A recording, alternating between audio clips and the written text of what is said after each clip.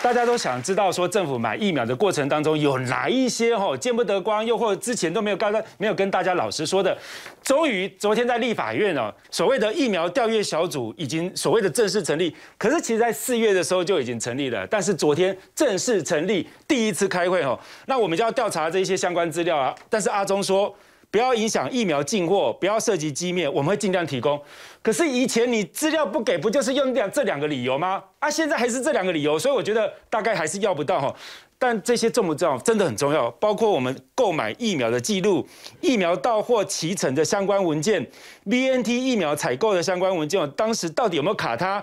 那调阅催货往来，你你说你有催嘛？那到底有没有？有没有像南韩一样认真催？代工也是啊，南韩还有其他国家都非常认真争取。那我们到底有没有争取？我们真的很想要知道这一次哦。但是审计长已经告诉大家哦，这个我们光是他们自己查了十几次要调资料，指挥中心常常说哦，我们现在是没有。人力配合，还有很多立委要调资料，其实也都调不到。有这个你怎么看？调不到的，这个不会有结果。已经预言调不到了，绝对调不到。要不要修书七十五块鸡排？你自己看二十块面线，二十块面线，你看民众党就知道了嘛。民众党，你去问那个高鸿安他们，嗯嗯连续三个月来调了六十八次的资料，拿到几个你知道吗？四个。你去问他们嘛，你问民众党嘛？啊，那四个有知道是什么吗？而而且都是经济部啦，好什么交通部，这不敏感。卫福部几乎都没有在给的啦。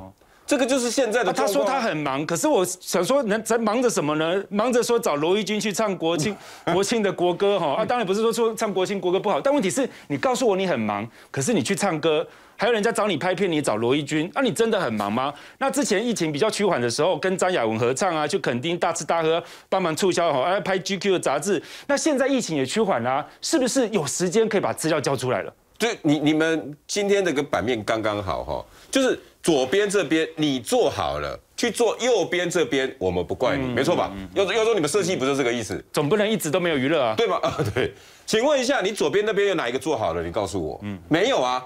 你所有东西都不给问，那五点是这次国民党，因为那时候陈玉珍大家还记得吗？闯关突然之间病病病病，然后呢，啊你们都走了是吧？啊上厕所了，来我们现在投票，调查小组成立要不要？好，然后就出来了。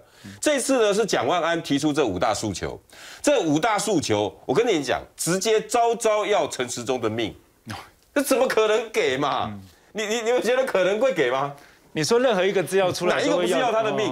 光一个催货好了啦，你就可以打他的脸了。你不要死，你也不用给我资料，我只要提三个字郭台铭，那你就死了。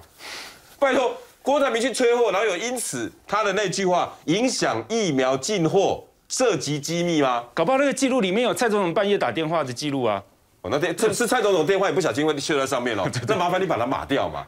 郭台铭每次的脸书上面就把进货时程，还连我迟到说啊，抱歉，我再去催，催完之后上次来的我一次一次扣打全部完。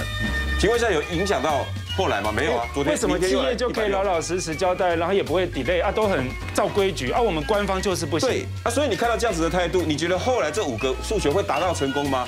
绝对不可能，他一定会用其他一样的方法。